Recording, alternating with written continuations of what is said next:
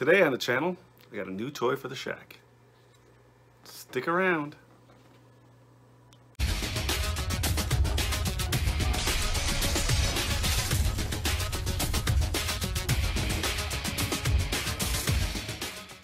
So guys, right over my shoulder there is a Yaesu FTM 2800, which I've had for quite a long time.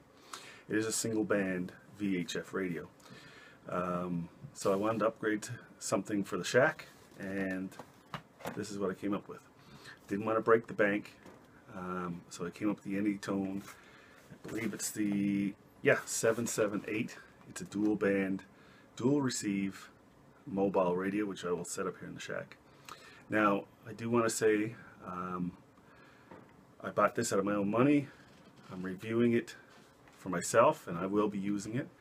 Um, but I do want to give a little shout out to DX Canada. Um, they uh, that's where I purchased it. It's in Ontario. Um, newer company, just starting in the last few years. Um, not, I'm not even really sure how long he's been in business.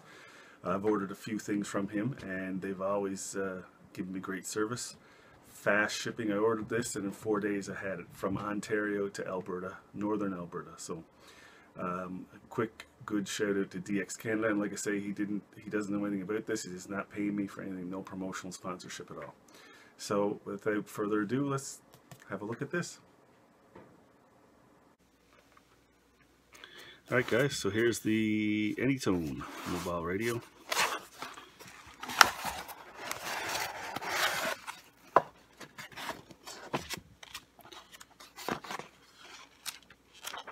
like a decent manual It does come with the programming cable, which is really, really awesome. Uh, makes it much easier to program this thing. So the first thing that uh, strikes me about this radio is actually its size.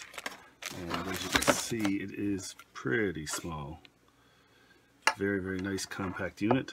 I actually have a measuring tape. And I will show you the size. So from the front button to the back of the heat sink is a little less than six and a half inches, around six and a quarter. And left to right is just under five inches.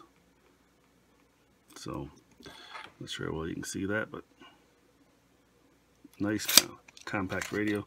I mean, that my hand is not that big.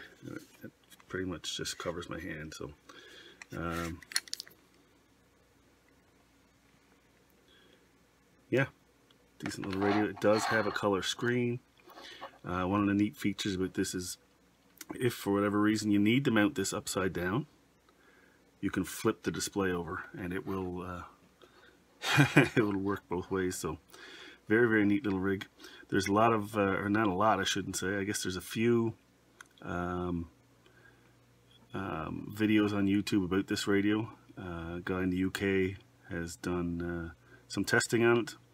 Um, like I say, it's a very well made, very solid radio. Nice metal case, very uh, built-in speaker, and of course the heat sink to help keep it cool. It is only 25 watts output maximum, which will be perfect for here in the in the shack. So I uh, I think it's going to be a great little radio for what I need.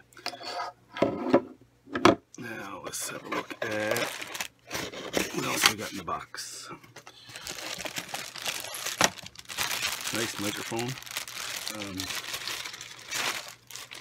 microphone's got numeric numbers on it, the, the keypad. Programmable keys, A, B key, which is nice.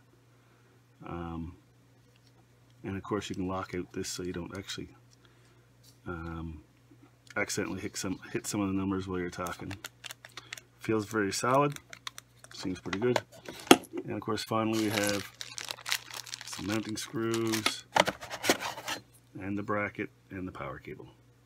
So I'm going to program it and I'll uh, bring you guys back. The programming software is available online. Uh, you download it for free and of course you use the uh, programming cable which actually plugs into the microphone plug.